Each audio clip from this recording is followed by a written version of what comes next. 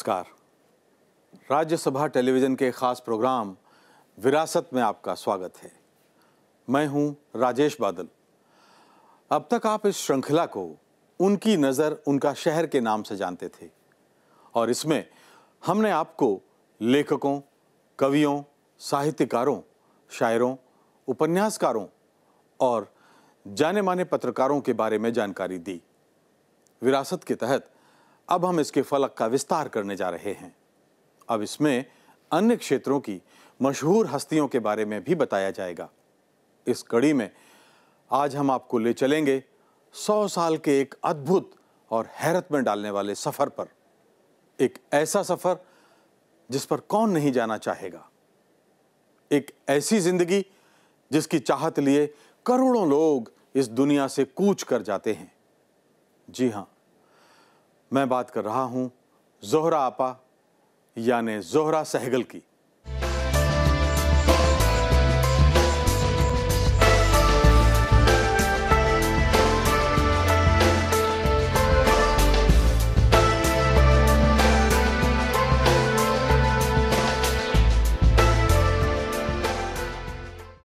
जोहरा सहगल और उनकी हाथों की लकीरों के बीच कभी रिश्ते अच्छे नहीं रहे। जब कभी किस्मत की रेखाओं ने समर्पण करना चाहा तो जोहरा ने उनकी दरखास्त ठुकरा दी। और जब जोहरा ने अपने भाग्य से इश्क करना चाहा तो उसे बेरहमी से कुचल दिया गया।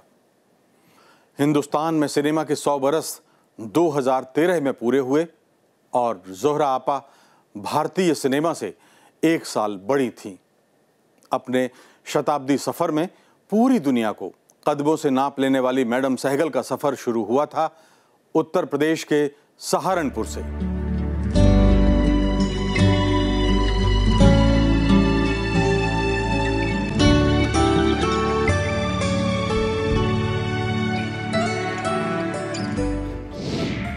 आज जोहरा सहगल के इस ज़िंदगी नामे में हमारे साथ होंगी जोहरा सहगल की बेटी और जानी मानी कलाकार किरण सहगल।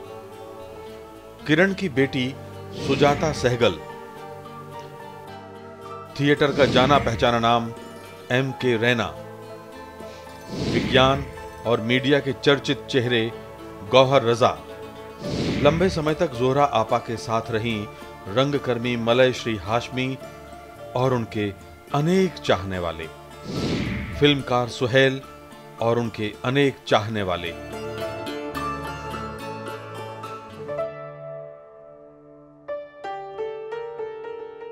वो 27 अप्रैल 1912 की तारीख थी। गोरी हुकूमत में एक पठान अफसर, मोहम्मद मुमताजुल्लाह खान के घर, सहारनपुर में एक खूबसूरत बेटी ने जन्म लिया। प्यार से नाम रखा गया जोहरा। जोहरा की माँ भी बड़ी सुंदर थी और सात भाई बहनों के बीच लाडली जोहरा पर जान छिड़कती थी।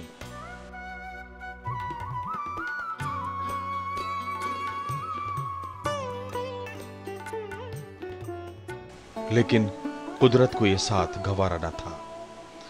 लंबी बीमारी के बाद माँ साथ छोड़ गई।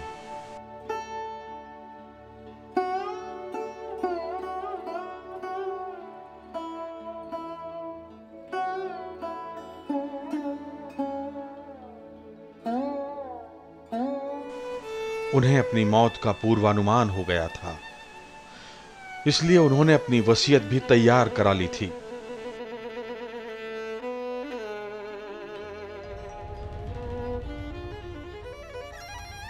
वसीयत में साफ़ साफ़ लिखा गया था कि उनके हिस्से के पैसे बच्चों की पढ़ाई लिखाई पर ही खर्च किए जाएँ, खास तौर पर बेटियों के लिए।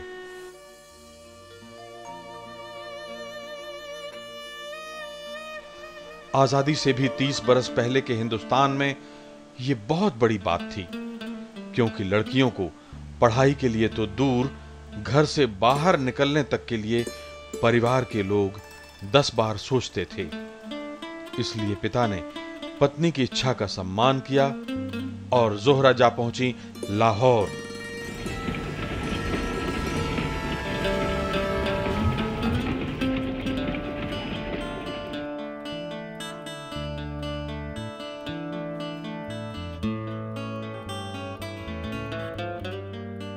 लाहौर के क्वींस मैरी स्कूल में अमीरों के बच्चों को ही दाखिला मिलता था। जोहरा मुमताज़ के लिए तो ये स्कूल विदेश जाने जैसा था। इसमें पुरुषों के प्रवेश पर पाबंदी थी। टेनिस, बैडमिंटन, हॉकी जैसे खेल लड़कियाँ खेलती थीं। उन्हें स्विमिंग पूल की भी सुविधा थी। और तो और ये स्कूल भारत के उन पहले गिने चुने स्कूलों में था जहाँ फ्लश वाले शौचालय थे। स्कूल इसका खूब प्रचार करता था। दो साल तक जोहरा को स्कूल की सर्वश्रेष्ठ छात्रा का इनाम मिला। I was extremely naughty and I used to tease everybody. And uh, शुरू में ये स्कूल सिर्फ़ हाई क्लास लेडीज़ प्रिंसेसेस वगैरह के लिए बना था तो प्रिंस प्रिंसेस कमला देवी और जुब्बल होती थी। तो वो जब टेनिस खेलती थी तो अगर कुछ फॉल्ट हो जाए तो वो, मैं छोटी सी होती थी, गोली करके तो वो कहती थी, मर जा। उनकी आदत थी। तो मैं ज़मीन पर, सच में मर के, फिर वो हंसती थी। जोहरा पंद्रह साल की किशोरी थी। दुनियादारी समझने लगी थी। घर में उनकी शादी की बात हो रही थी, लेकिन स्कूल की अंग्रेज़ प्रिंसिपल शादी के खिलाफ थी। इसलिए करीब ढाई साल तक जोहरा को दसवीं क्लास में ही रहना पड़ा। दरअसल प्रिंसिपल को लग रहा था कि अगर जोहरा को दसवीं पास करा दी तो स्कूल छूट जाएगा और जोहरा की शादी हो जाएगी। बिना फेल हुए एक ही क्लास में पढ़ने का यह साझा षड्यंत्र ढाई साल तक चलता रहा। इस दौरान जोहरा ने नाटकों में हिस्सा लिया और जमकर तारीफ़ बटोरी। जोहरा के भीतर अभिनय का बीज पड़ चुका था। आखिरकार 1929 में स्कूल छूट गया।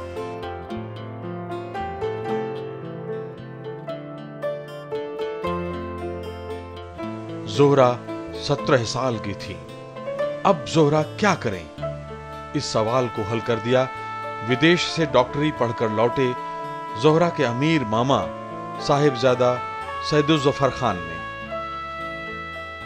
उन्होंने भारत की पहली महिला पायलट बनने का सपना दिखाया, लेकिन ये सपने उड़ान भरते इससे पहले उनके पंख पिताजी ने काट दिए। अलबत्ता इंग्लैंड जाकर एक्टिंग सीखने की इजाज़त उन्हें मिल गई। लेकिन जोहरा तो नृत्य सीखना चाहती थी। कहती हैं कि मैं तो वैसे पायलट बनना चाहती थी और फिर आई डोंट नो क्या व्हाट चेंज हर माइंड लेकिन एकदम से ये हुआ कि मैं मुझे एक्टिंग करनी है।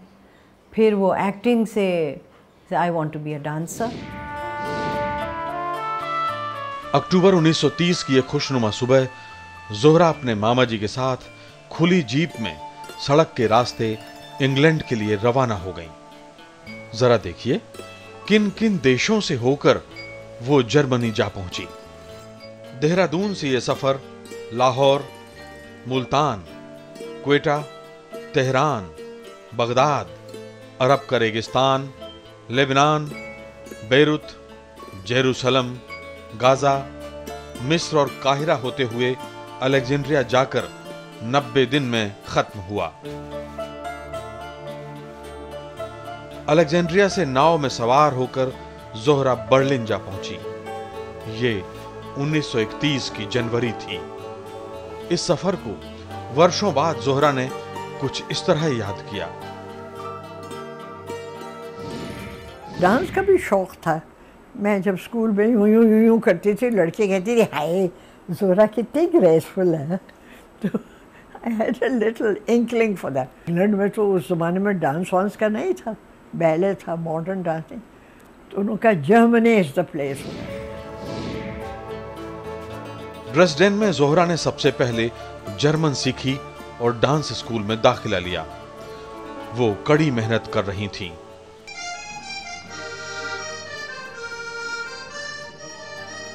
चौदह चौदह घंटे बिना रुके नृत्य का रियाज करती नतीजा ये कि तीन साल का कोर्स ढाई साल में ही पूरा कर लिया। उन्होंने प्रावीण्य सूची में दूसरा स्थान प्राप्त किया। इस दौर को जोहरा मुमताज़ ने कुछ इस तरह बयान किया। मेरा सपना सच हो रहा था। घर की रोक टोक से भी अब दूर थी। रहने, खाने, पीने, स्कूल की फ़ीस, कपड़ों और यहाँ तक कि मनोरंजन के लिए भी भरपूर पैसा था।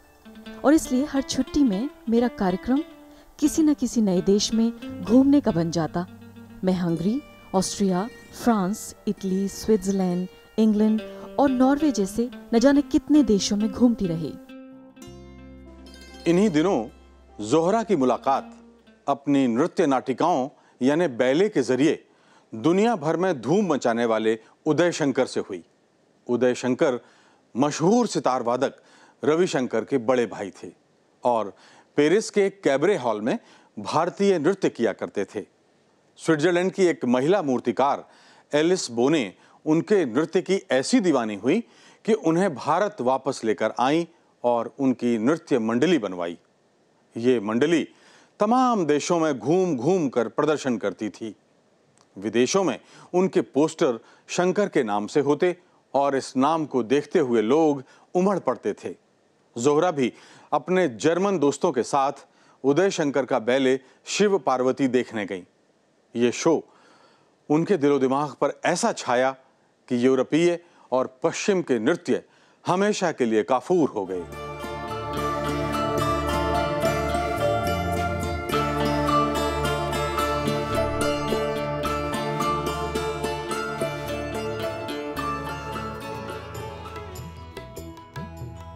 बीस सितंबर 1933 को जोहरा भारत लौट आई।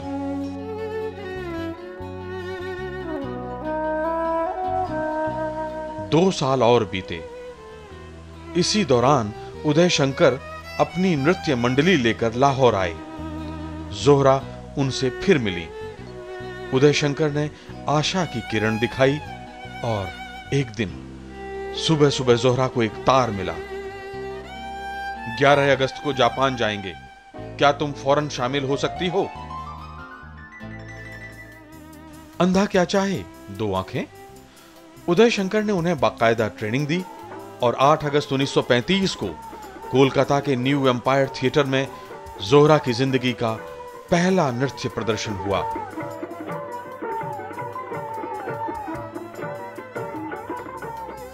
इसके बाद मंडली के साथ वो सिंगापुर, रंगून और कुआलालंपुर के लिए रवाना हो गईं।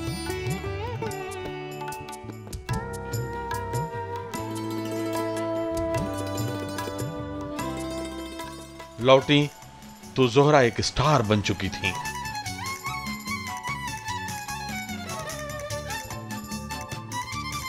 अगले साल जनवरी 36 में वो फिर मुंबई से समंदर के रास्ते फिलिस्तीन सीरिया, इराक, मिस्र, इटली, चेकोस्लोवाकिया, स्विट्जरलैंड और पेरिस में झंडा गाड़ते हुए इंग्लैंड जा पहुँची। जरा सोचिए, जिन देशों में आज़ादी से पहले भारतीय कला संस्कृति की इतनी धूम हुआ करती थी, क्या आज हम ऐसा कर पा रहे हैं? तो हम इतने वर्षों में आगे आए हैं? या और पीछे चले गए? बहरहाल, हम बात कर रहे थे जोहरा की विदेशों में लोकप्रियता की। एक बार, जब वो अमेरिका में उदय शंकर की मंडली में थी तो उनकी छोटी बहन उजरा भी साथ में थी। कहीं से अफवाह उड़ गई कि किसी भारतीय रियासत की दो राजकुमारियाँ अमेरिका में नृत्य प्रदर्शन करने आई हैं। फिर तो अमेरिकी उदय शंकर की मंडली के दीवाने हो गए। लोग आते ऑटोग्राफ लेते और उन्हें छू छू कर देखना चाहते। एक पार्टी में तो पर्लेस बक ने अपनी किताब द गुड अर्थ भेंट की और उस पर लिखा, राजकुमारी जोहरा और उजरा के लिए सप्रेम भेंट। जोहरा सातवें आसमान पर थी। बाद में कहीं उन्होंने लिखा मैंने देखा लोग आपके पीछे किस तरह पागल होते हैं। आप जो भी कहते हैं, उस पर आँख मूंद कर भरोसा कर लेते हैं। उस ज़मीन को चूमते हैं, जिस पर आप कदम रखते हैं। और ये सब इसलिए क्योंकि आप उदय शंकर नाम के भगवान जैसे व्यक्तित्व का एक छोटा सा हिस्सा भर हैं। वक्त गुजरता रहा। उदयशंकर चाहते थे कि भारत में एक ऐसा संस्थान खोला जाए जो देश भर की नृत्य प्रतिभाओं को प्रशिक्षण देकर उन्हें तराशे। आखिरकार, उत्तर प्रदेश के अल्मोड़ा में उदय शंकर सांस्कृतिक केंद्र शुरू हो ही गया। ये उन्नीस का साल था।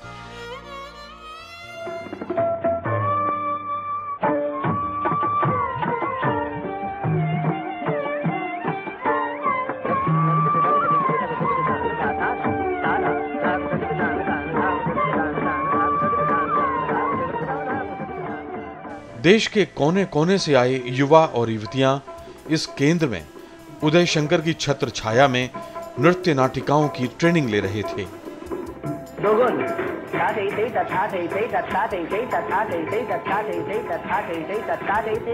इन्हीं में से एक था। इंदौर से आया खूबसूरत नौजवान कामेश्वर सहगल।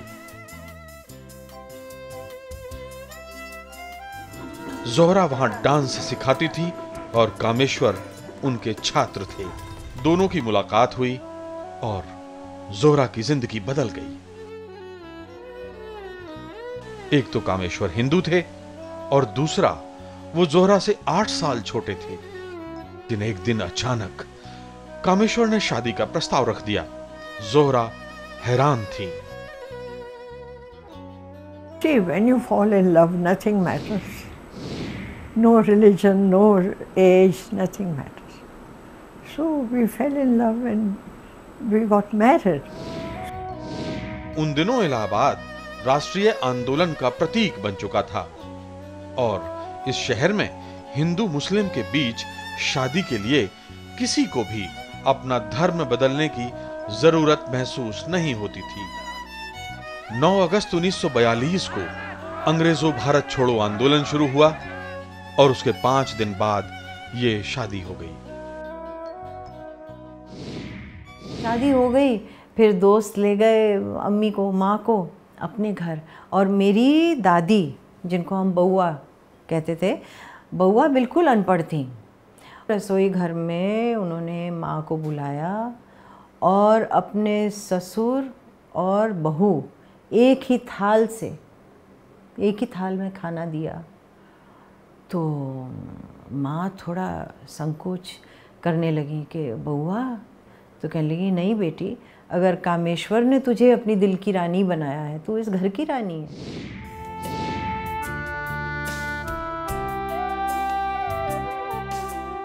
लेकिन न जाने क्या हुआ कि उदय शंकर के इस केंद्र को किसी की नज़र लग गई। अंदरूनी झगड़े बढ़ते गए और अगले ही साल केंद्र में ताला पड़ गया। देश के नृत्य नाटक इतिहास का ये एक काला अध्याय है। जोहरा और कामेश्वर ने अब फैसला किया कि वो अपना डांस स्कूल शुरू करेंगे। दस हज़ार रुपए से लाहौर में जोरेश डांस इंस्टीट्यूट शुरू हो गया। इस संस्थान ने धूम मचा दी।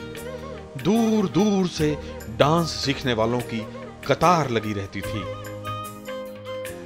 इसी बीच परिवार में 17 नवंबर 1944 को बेटी किरण आ गई।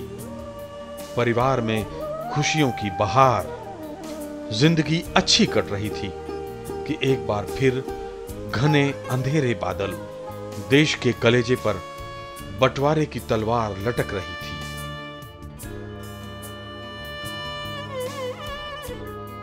हार कर कामेश्वर और जोहरा ने संस्थान बंद कर दिया। दोनों बेटी के साथ मुंबई आ बसे। मुंबई उन दिनों फ़िल्म के अलावा थिएटर का भी बड़ा केंद्र बन रहा था। कुछ धुनी लोगों ने इंडियन पीपल्स थिएटर एसोसिएशन, यानी इप्टा बनाया था। जोहरा ने भी इप्टा ज्वाइन कर लिया। इप्टा से जुड़े कुछ और चेहरों में थे पृथ्वीराज कपूर, बलराज साहनी, हबीब तनवीर, चेतन आनंद, रोमेश थापर, शौकत आजमी, कैफी आजमी, पंडित रविशंकर, साहिर लुधियानवी, सलील चौधरी, फैज अहमद फैज, सुमित्रा नंदन पंत, कृष्ण चंदर, ख्वाजा अहमद अब्बास इस्मत चुगताई और ऐसे ही अनेक नाम। इप्टा के नाते भले ही जोहरा पृथ्वीराज कपूर से परिचित हो गई थी, लेकिन निकटता नहीं थी। पृथ्वीराज कपूर ने 1944 में पृथ्वी थिएटर शुरू किया और देखते ही देखते बड़ी संख्या में कलाकार उनसे जुड़ गए। साल भर के भीतर पृथ्वी थिएटर का पहला ड्रामा शकुंतला मुंबई में खेला गया। जत्थों की शक्ल में लोग इस नाटक को देखने उमड़ पड़े। जोहरा भी गई और नाटक देखने के बाद वो पृथ्वीराज कपूर की दीवानी हो गई।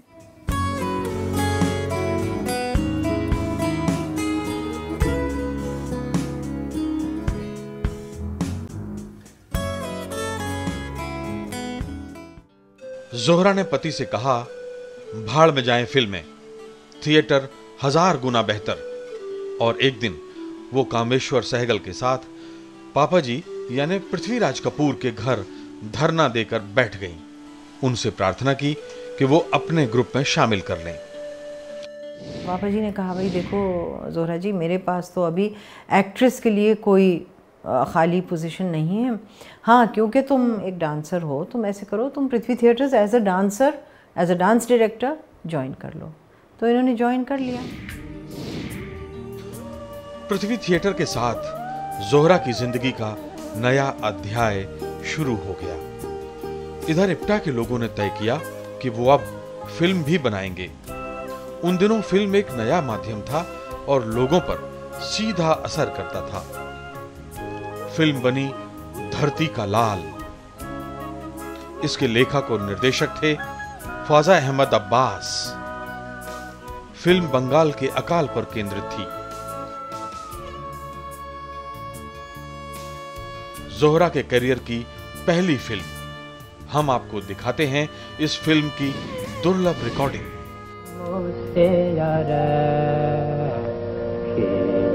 नहीं जी नहीं किटी नहीं मेरा नाम है साधना साधना घोष। देखिए मिस घोष मुझे तो जलसों और तमाशों में जाने की बिल्कुल फुर्सत नहीं। आपके ये चैरिटी शो के टिकट कितने कितने के हैं? पचास पचास रुपए के। लेकिन आपके लिए कोई कैद नहीं। आप जितना भी चाहें ज़्यादा दे सकते हैं। खर्चा इतना बढ़ गया है कि मुझे डर है रिलीफ कमेटी को कुछ मिलेगा भी या नहीं।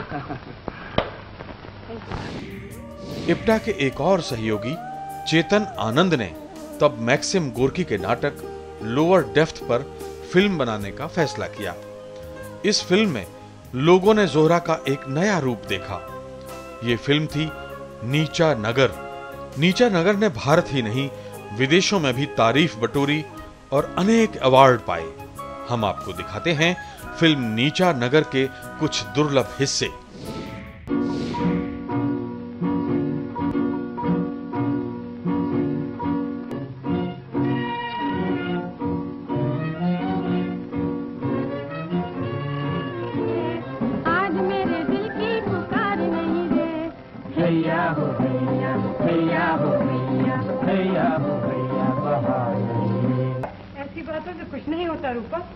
और अगर नाला आया भी तो हमारे घर से तो दूर रहेगा। क्यों बेटी? भाई साहब हम लोगों ने तय किया है कि अस्पताल का बाइकाट करेंगे। क्यों? क्यों? क्योंकि ये अस्पताल और नाला एक ही चीज़ है। बस बलराज ये अपनी बातें अपनी तक रहने दो। बच्चे की जान के पीछे न पड़ो।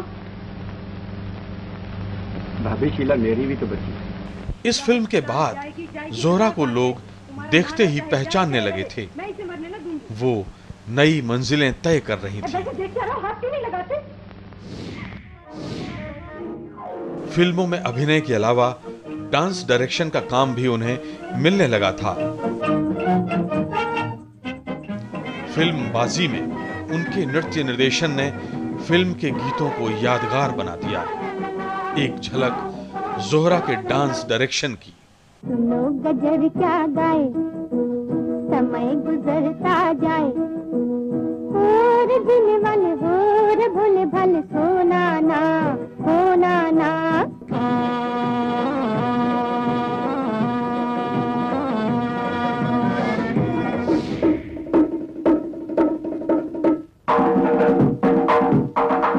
शर्माए का है घबराए का है सुन मेरे राजा, ओ राजा, आजा आजा आजा शर्माए का है घर आया मेरा परदेसी।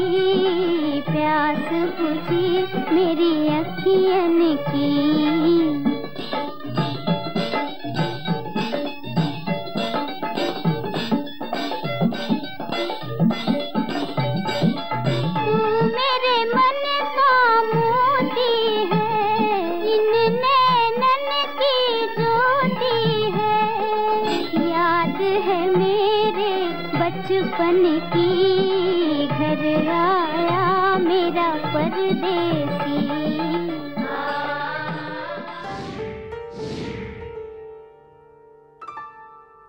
लेकिन धीरे धीरे इप्टा कमज़ोर होती जा रही थी। आखिरकार इप्टा ने दम तोड़ दिया। जोहरा पूरी तरह पृथ्वी थिएटर से जुड़ गई। चार सौ रुपए महीने के कॉन्ट्रैक्ट पर। यह रिश्ता चौदह साल चला, जब तक कि पापा जी ने 1960 में उसे बंद नहीं कर दिया। पापा जी की सेहत दरअसल साथ नहीं दे रही थी। इन चौदह सालों में जोहरा ने अपने दमदार अभिनय से लोगों का दिल जीत लिया।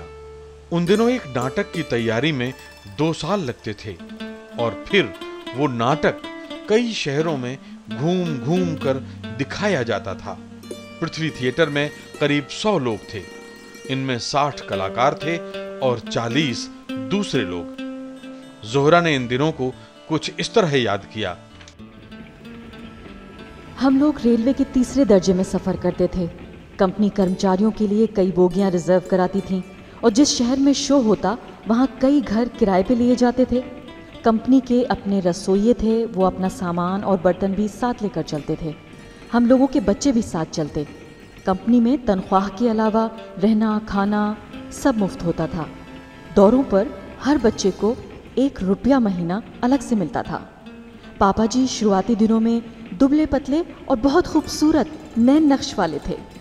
उनकी आवाज़ इतनी पतली थी कि कई बार तो महिलाओं के किरदार भी निभाते थे। जिन लोगों ने उन्हें मुगल आज़म में शहनशाह वाले किरदार में देखा है, वो तो इस पर यकीन ही नहीं करेंगे।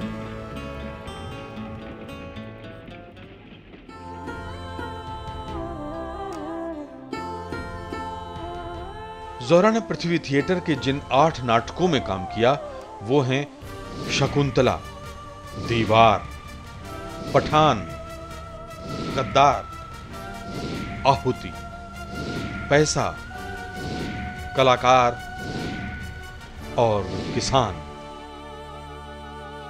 चौदह साल में आठ नाटकों के 2262 शो हुए।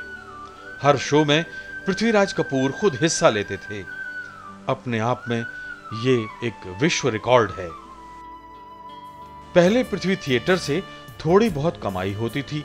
लेकिन खर्च था भारी भरकम। इसलिए पापा जी फ़िल्मों में अभिनय से हुई कमाई को पृथ्वी थिएटर के खर्च में लगा देते। ये उनका जुनून था। फ़िल्म से कमाते, थिएटर में गंवाते। कभी कभी उनके बेटे राज कपूर और शम्मी कपूर भी उन्हें आर्थिक मदद करते थे। थिएटर में बाकायदा एक्टिंग की क्लास भी लगती थी। जोहरा डांस की ट्रेनिंग देती थी।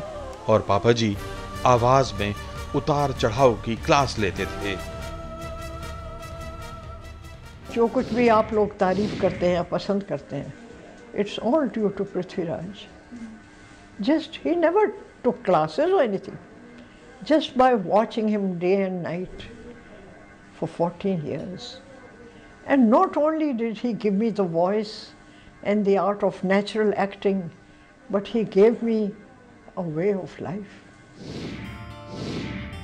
Prithviraj Kapoor के लिए थिएटर खींचना मुश्किल हो रहा था और उधर जोहरा की ज़िंदगी में एक भीषण तूफ़ान आने वाला था।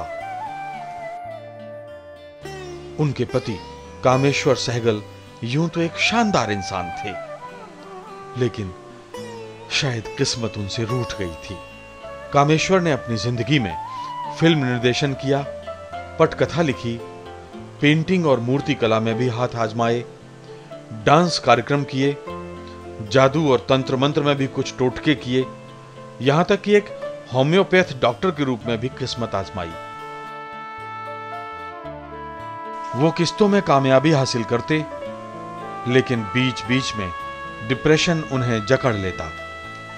भीतर ही भीतर नासूर पनप रहा था।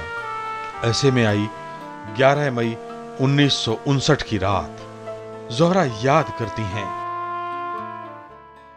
जब भी कामेश्वर हताश, उदास या निराश होते, मैं उन्हें अकेला ही छोड़ देती। उस दिन भी कुछ ऐसा ही हुआ। मैं उन्हें अकेला छोड़कर बच्चों के साथ सो गई। सुबह उठी तो कमरे के बाहर एक पर्चा लगा था। परेशान मत करना, मैं छिप रहा हूँ। जोहरा ने पर्ची उतारी और बच्चों को हिदायत दी कि वो पिता को डिस्टर्ब ना करें। इसके बाद रोज की तरह वो रिहर्सल में चली गई। लौटने तक भी कामेश्वर कमरे के भीतर बंद थे। माथा ठनका, बाथरूम की खिड़की से अंदर जाकर देखा तो पाया कामेश्वर हमेशा के लिए सो गए थे। जोरा लिखती हैं और अब मेरे मरने का दौर शुरू हुआ। मैं खालीपन की एक अजनबी दुनिया में थी। इस ज़िंदगी के माने जैसे खत्म हो चुके थे। जीते जी पागल सी हो गई थी। मैं रोती, अनायास हंसती। कभी पूरा शरीर कांपने लगता तो कभी होश खो बैठती। ज़िंदगी अब जैसे काटने को दौड़ रही थी। हारकर मैंने पापा जी से थिएटर छोड़ने की इजाज़त मांगी और वो मान गए। ज़िंदगी किस तरह अपने रूप बदलती है, कोई अंदाज नहीं लगा सकता। जोहरा की ज़िंदगी रूप बदल बदल कर उनके सामने आ रही थी। कभी सितारों की तरह आसमान पर ले जाती तो कभी बियाबान सन्नाटे में अकेला भटकने को छोड़ देती। वो कभी अपने ही वतन में बेवतन महसूस करती तो कभी सात समंदर पार अजनबी शहर के अजनबी रास्ते उन्हें अपना बना लेते। गुमनामी के उस दौर में जोहरा सहगल को क्या क्या नहीं करना पड़ा।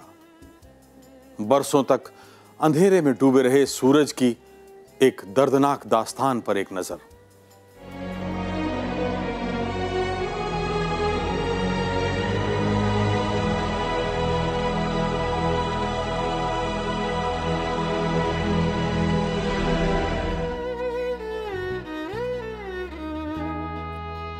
मुंबई अब बेगानी लगने लगी थी।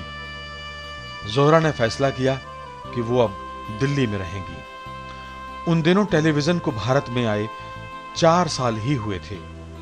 पूरे देश में बमुश्किल 25-50 टीवी सेट रहे होंगे।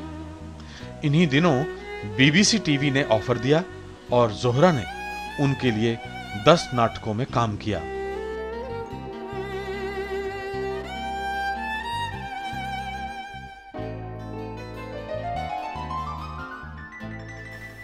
इधर बेटी किरण और बेटा पवन भी बड़े हो रहे थे।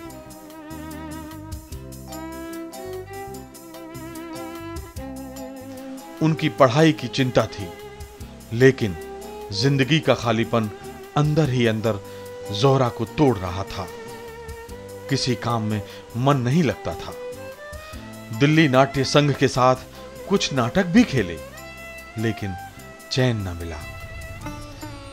ऐसे में घर के लोगों ने हौसला बढ़ाया और यूरोप घूमने की राय दी।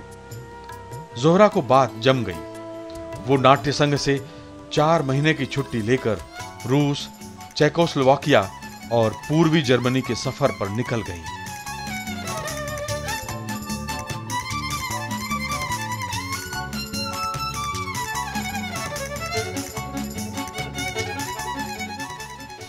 भारत सरकार ने उनके आने जाने के टिकट का बंदोबस्त कर दिया। रूस के तमाम शहरों में उनके टीवी इंटरव्यू हुए जगह जगह व्याख्यान हुए और उन्होंने ढेर सारे नाटक देखे।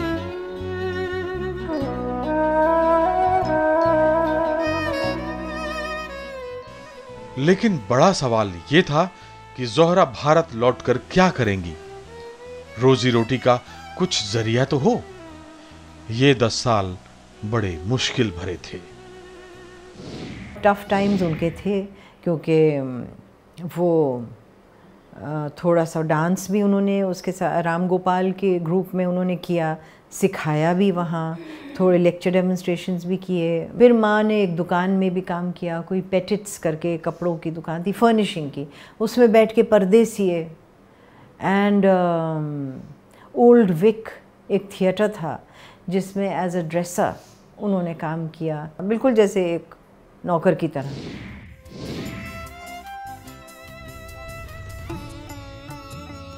हालाँकि उन्हें एक्टिंग के मौके भी अनेक मिले।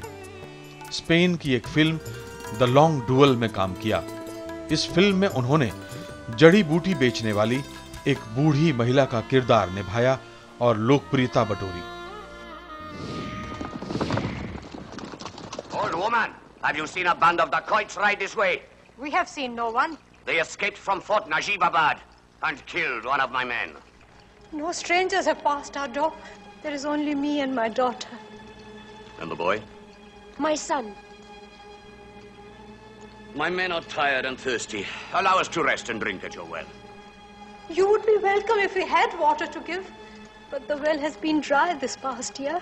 There's a river just over the hill. इसके बाद रुडयार्ड किपलिंग की कहानियों पर बीबीसी टेलीविज़न ने सीरीज़ बनाई तो जोहरा वहाँ भी नज़र आई। 1967 में आइवरी मर्चेंट की फ़िल्म द गुरु में उन्होंने मस्तानी की भूमिका को यादगार बना दिया।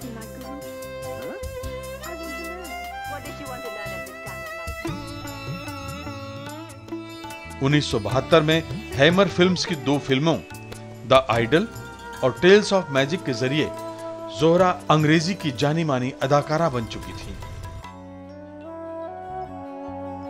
पैसा भी ठीक ठाक मिलने लगा था, मगर अब वतन की याद सता रही थी।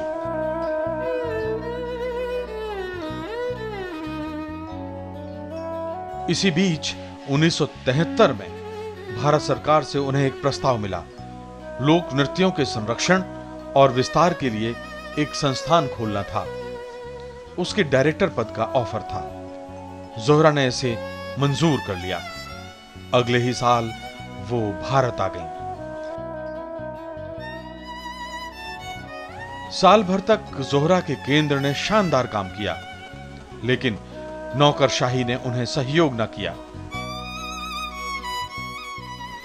जोहरा अकेले कब तक संघर्ष करती? 29 जून 1975 को यह केंद्र बंद कर दिया गया।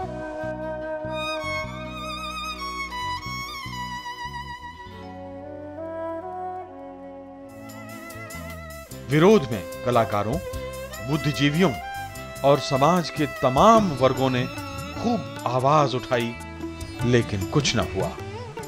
जोहरा अपने ही वतन में सड़क पर थी।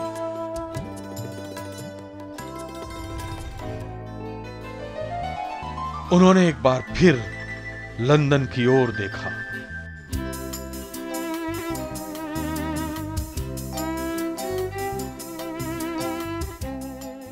उन्नीस सौ सतहत्तर में बीबीसी ने धारावाहिक पड़ोसी में जोहरा को श्रीमती चौधरी का किरदार सौंपा और इस सीरियल के बाद उन्हें पूरे ब्रिटेन में श्रीमती चौधरी के नाम से जाना जाता था।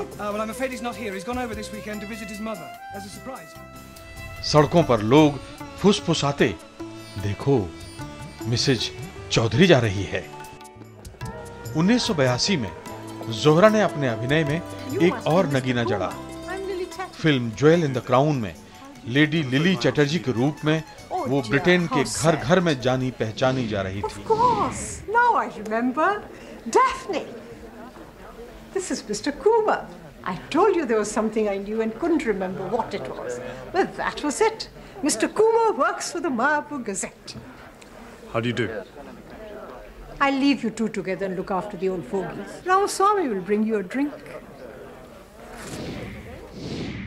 शुरू में तो ये था कि अगर बस में कोई आए बैठने तो हमारे पास नहीं बैठते थे unconsciously white people they would sit some but after jewel in the crown they would take permission lady lily chatterjee may i sit next to you तारीफ़ वगैरह तो बिल्कुल पलट गया and children used to run out of the street take my autograph इसके बाद तो जोहरा ने अंग्रेज़ी फ़िल्मों की झड़ी लगा दी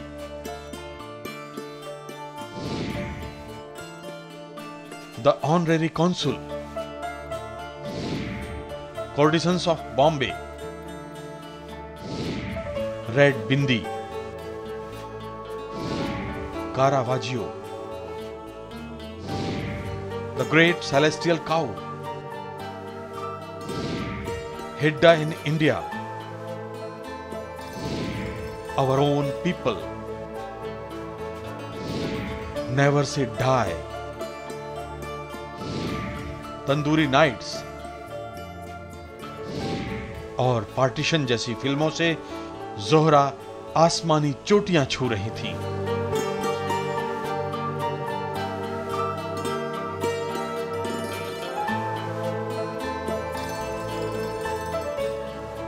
लेकिन उम्र चौथे पड़ाव पर दस्तक देने लगी थी। इधर जोहरा के दरवाजे एक के बाद एक ऑफ़र घंटी बजा रहे थे। लेकिन जोहरा को उधर वतन की याद फिर सता रही थी। वो उन्नीस सौ सतासी में दिल्ली आ बसी।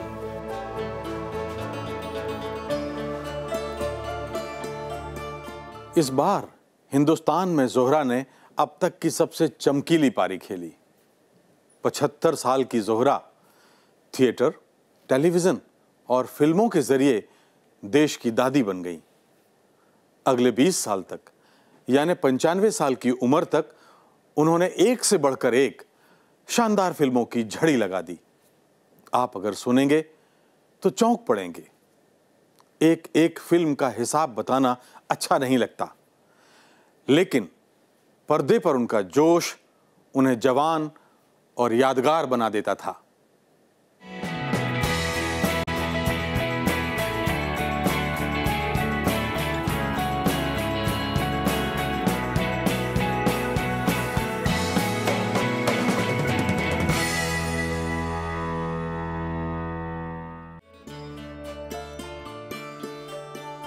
और अब उन फ़िल्मों के नाम जिनमें जोहरा नज़र आई।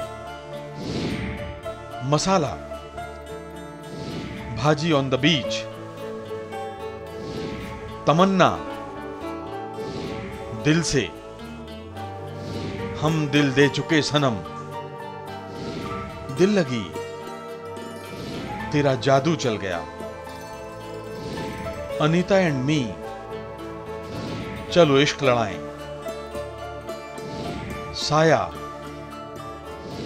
कौन है जो सपनों में आया? वीर जारा, चिकन टिक्का मसाला, चीनी कम और सांवरिया। हम आपको दिखाते हैं, इन्हीं में से कुछ फ़िल्मों के चुनिंदा दृश्य। मेरे दिल दादी! पप्पू! यस दादी! यस दादी! यस दादी। कहाँ था इतनी रात तक? आज तो तेरा शो भी नहीं था। वो हुआ यूँ आज फ्राइडे है। फिर पिक्चर देखने गया था। वो दादी। इस सपना की फ़िल्में देख कर तुझे। दादी मैं उसका फ़ैन हूँ। उसकी फ़िल्में देखे बगैर नहीं जी सकता ना। फ़ैन देख पप्पू आज मैं तुझे आखिरी बार कह देती हूँ। आइंदा तूने सपना की पिक्चर देखी तो तेरी आँखें निकालकर गोटियाँ खेलू इस उम्र में? पप्पू! सो जा हम्म, मुझे पता है। आपको पता है? वैसे तो मुझे नहीं पता पर मुझे पता है लड़की बड़ी सोनी है खानदानी है मुझे पसंद है। पर बीजी हमने तो विक्रम को लिखा। अरे तो तूने जबान थोड़ी दी थी उसे। अरे बात तो समझ इसे किसी से प्यार हो गया है। प्यार हो गया है। ऐसे कैसे हो गया प्यार? अरे जैसे तुझे हो गया था अपनी हीर से भूल गया, क्यों? कैसे अपनी हीर को कांधे पर चढ़ा कर मेला घुमाने ले जाता था? सुनो सुनो, मेरी बात सुनो, तुम समझ में मेरी आया। जिस पंछी की बात करो, तुम वो आदम का जाया। बच के रहना कच्ची उम्र है, पड़े ना उसका साया। पास न जाना छूना जाए, रोग लगेगा भारी। ना खाना, ना सोना होगा, दिल की गहन बीमारी। दुख देकर वो उड़ जाएगा, हंसेगी दुनिया सारी। तैया तैया तैया तैया जोरा आपा की आँखें देखिए आप। कुछ भी वो कर रही हो, कोई भी रोल कर रही हो, उनकी आँखों में जो चमक थी, और ख़ास तौर से वो शरारती जो एक एक चमक उनकी आँखों में होती थी तो वो उसने उनको इतना पावरफुल एक्टर बना दिया था कि आप टोटल डार्कनेस में उनको रख दीजिए, सिर्फ़ उनका चेहरा दिखता रहे और उनकी आँखों से वो सब का सब एक्सप्रेस कर देती थी। उनकी ज़िंदा दिली जो थी ना एक तरह से कोई दिखावा नहीं था। कभी कभी होता है ना कि बहुत सारे लोग आते हैं पचास की उम्र में हा हा हा चलो बेटे। ऐसे करके नकली नकली करते। ऐसा नहीं था। वो उन, उनके अंदर थी वो ज़िंदा दिली। लेकिन मैंने वही कहा ना कि ज़िंदा दिली के साथ साथ जहाँ पे डिसिप्लिन चाहिए अपने काम के प्रति वहाँ वो कभी नहीं चूकती थी ना हमें चूकने देती थी। जोरा आपा को जैसे ही याद किया जाए, नाम लिया जाए या सोचा जाए तो सबसे पहले उनका चेहरा, जिसके अंदर एक्सप्रेशंस जिसे हम भाव कहते हैं कूट कूट के भरा हुआ दिखाई देता है। और आप जैसा सोचें, वैसा चेहरा दिखाई देने लगा, उनका खुद ये कहना था कि मैं अपने मियाँ को याद करती हूँ, आँखों में आँसू आ जाते हैं। अपने बचपन को याद करती हूँ, पेड़ों पे चढ़ने को तो मुझे हँसी आ जाती है। तो मुझे कभी एक्टिंग करने की ज़रूरत ही नहीं पड़ी। आज जिम गया। Gym gym. मत सुन मत सुन। जब पचहत्तर का हो जाएगा तो सांस भी ठीक से नहीं ले पाएगा। दो कदम चलेगा और चार कदम हाँफेगा खाना खाए अभी तो किस्मत से अच्छा भला है। अरे अभी जिम जा दौड़ वोड़ लगा। नहीं तो कुछ दिन बाद एक किलो भी उठाएगा तो लोग तुझे स्ट्रेचर पे उठा के अस्पताल ले जाएँगे। बस बस। नब्बे साल की उम्र में भी जिस तरह की भूमिकाएँ उन्होंने निभाई वो बेमिसाल हैं। झुर्रियों से भरा चेहरा मगर चुलबुला और शरारती.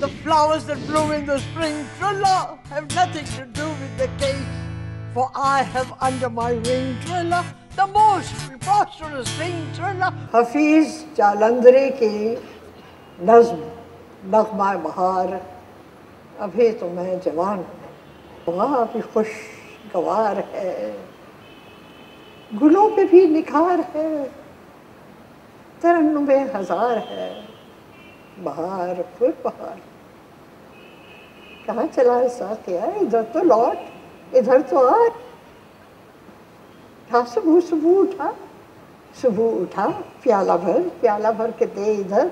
मन की सिमत कर नज़र, थमा तो दे काली काली बदलियाँ उफक पे हो गए हैं यहाँ एक हजूम में मैं कशा हसुए मैं कदा रवा ये क्या घुमा है मुझ घुमा समझ ना मुझको ना समा ख्याल है सोच अभी कहाँ? अभी तो मैं जवान। इबादतों का ज़िक्र है। नजात की भी फ़िक्र है, जो है सवाब का ख्याल। आप भी भला शबाब आशिक़ी अलग हुए भी हैं कभी। सीज हो, अदाएँ फितन खेज हो, हवाएँ इतरबेज हो तो शौक क्यों ना तेज हो? निगाह हाय फितना कर, कोई इधर, कोई उधर। उभारते हो ऐश पर तो क्या करे कोई बशर चलो जो किस्सा मुख्तसर तुम्हारा नुकता है नज़र दुरुस्त है तो वो मगर अभी तो मैं जवान हम जुज गिलास न मैं कुछ कमी रहे, कदा से हम जमीर है निशस्त ये जमीर है यही हमा हमीर है मुराद शेर मुतरबा, तरफ़ फिजा अलम रुमा, असर सदा साज का, जिगर में आग दे लगा, हर एक लब पे हो सदा न हाथ रोक साथिया, पिलाए जा पिलाए जा।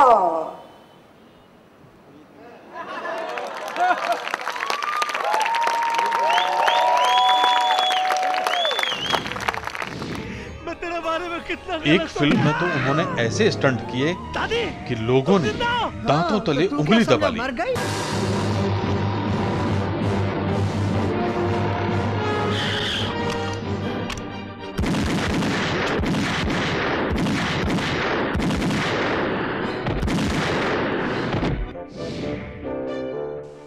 जोहरा ने अपनी अदाकारी से सिनेमा के पर्दे पर दादी के किरदार को एक नया रूप दिया। पोते को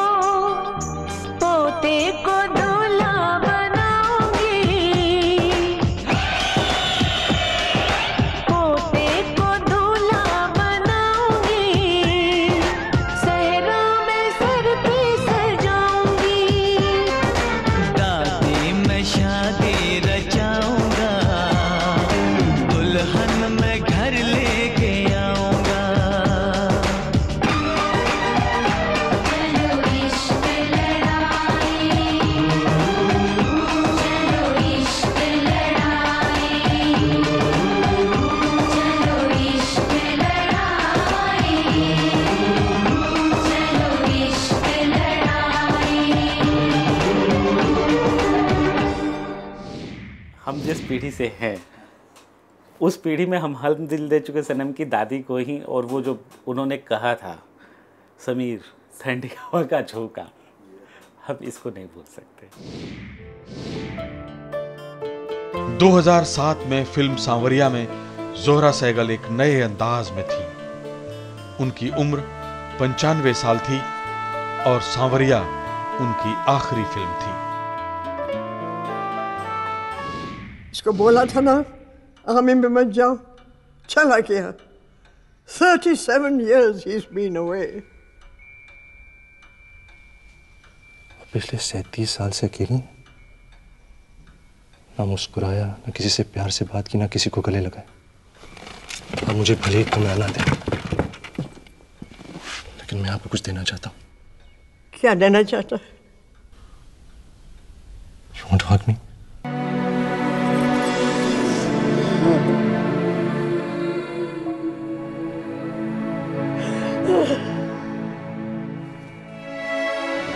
अपने को हमेशा से रीइन्वेंट किया रिडिस्कवर किया, नए डायरेक्टर नए फॉर्म नए तौर तरीके से अपनी परफॉर्मेंस जारी रखी उन्होंने। और ये बहुत ही उम्दा सफ़र है किसी भी अदाकार के लिए।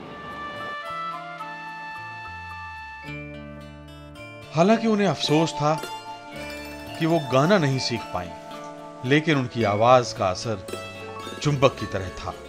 इकबाल, फैज अहमद फैज अली सरदार जाफरी, हफीज जालंधरी और मजाज आदि शायरों की नज़में उनकी जबान से जब निकलती तो सुनने वाले दंग रह जाते। जमीने पाक को ढो नहीं सकती, वतन की आज़ादी कभी गुल हो नहीं सकती। कहो हिंदोस्तां की जय, कहो हिंदोस्तां की जय। सच कह दूँ है ब्रह्मन गर तू बुरा न माने तेरे सनम कदों के बुत हो गए पुराने। पत्थर की मूर्तों में समझा तू खुदा। आके वतन का मुझको हर जर्रा देवता। जिसके ढोरों को जालिम हका ले गए, जिसकी बेटी को डाकू उठा ले गए, हाथ पर खेत से अंगुष्ठ पटवार ने काट ली, दूसरी माल्ये के बहाने से सरकार ने काट ली, जिसकी पग ज़ोर वालों के पाँव तले धज्जियाँ हो गई। उन दुखी माओ के नाम। रात में जिनके बच्चे बिलकते हैं और नींद की मार खाए हुए बाजुओं में, संभलते नहीं, दुख बताते नहीं, मिन्नतों, जारियों से बहलते नहीं। ये बच्चा कैसा बच्चा है? ये बच्चा किसका बच्चा है? न इसके पास किताबें हैं, इसके पास ना बस्ता है, न इसके अम्मी अबू हैं, न इसकी आपा खाला है ये सारे जग में तनहा है। ये बच्चा कैसा बच्चा भगत सिंह, जिसने सॉन्डर्स के कत्ल के बाद एक इंसान की जान लेने पर अफसोस ज़ाहिर किया। और जब उसने अपनी फांसी की खबर सुनी तो खिलखिला कर हंस पड़ा। उसकी जंग साम्राज्यवाद की कोख से जन्म लेने वाली भूख, गरीबी और बेइज्जती से थी। कैमरे के सामने और मंच पर जोहरा सहगल का जो रूप होता था, वो घर में एकदम बदला होता था। सबकी चिंता करती थी और सबका भला चाहती थी। हिंदुस्तान के बुज़ुर्गों की क्या ये सबसे अच्छी पहचान नहीं है?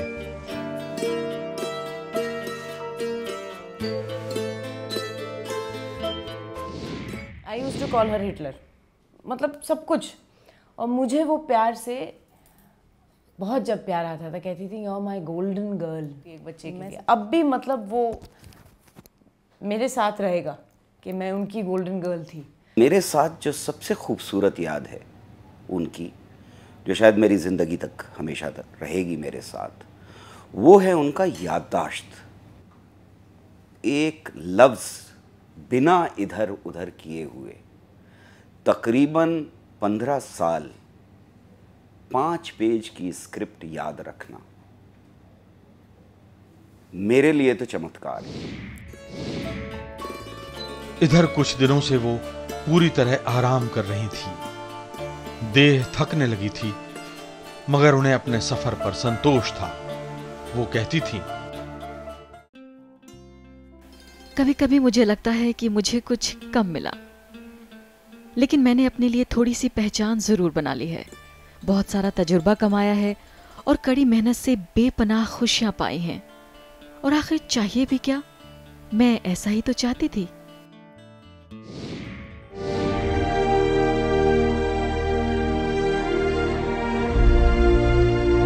10 जुलाई 2014 की सुबह, जोहरा सहगल के चाहने वालों के लिए बड़ी मनहूस शक्ल लेकर आई। वो अपने आखिरी सफ़र पर चली गई। लेकिन उनकी यादों का कारवां आज भी हमारे साथ है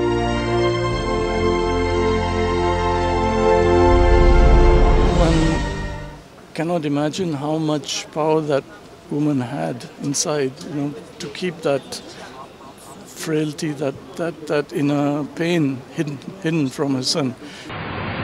जोरा सहगल जी के साथ और हमारे परिवार का बहुत ही पुराना रिश्ता रहा है जोरा जी अ, पृथ्वीराज कपूर के साथ उनके पृथ्वी थिएटर्स में काम करती थी। और जब जब पृथ्वीराज जी, जिनका कि हमारे परिवार के साथ बाबूजी के साथ संबंध थे अच्छे वो इलाहाबाद आते थे पृथ्वी थिएटर्स को लेकर के। तो उनसे मुलाकात होती थी। जिस तरह से उन्होंने अपनी ज़िंदगी जी है, अपने टर्म्स पे जी है तो हमको तो इस मौके को सेलिब्रेट करना चाहिए।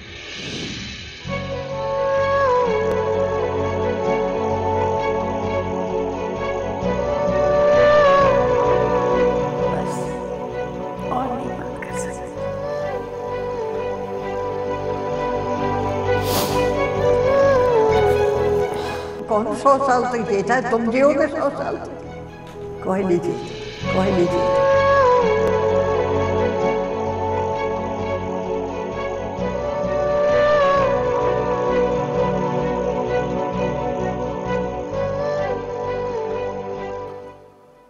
जोहरा आपा जा चुकी हैं, लेकिन अभी भी लगता है कि आके वो आपके गाल पर एक चपत लगाएँगी और कहेंगी मैं तो लंदन गई थी। तुम लोग बेवजह परेशान थे। आपा की यादों को लेकर यह था विरासत का खास एपिसोड। अगली बार फिर मिलेंगे किसी नए सितारे से। देखते रहिए राज्यसभा टेलीविज़न।